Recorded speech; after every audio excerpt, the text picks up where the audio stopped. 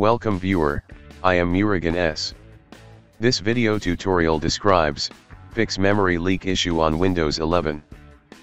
First method is right click start button, click task manager. Select Windows Explorer, click restart. Second method is click start, settings, click Windows Update, click check for update.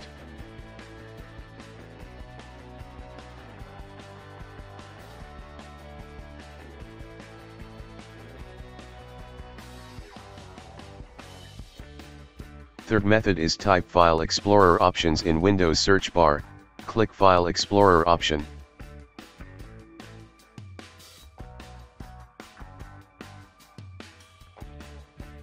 Click View tab, check Launch folder Windows in a separate process, click Apply, click OK.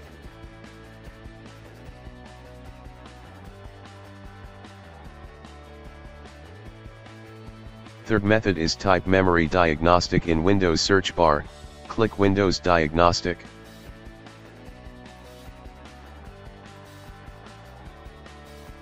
Click Restart now and check for problems.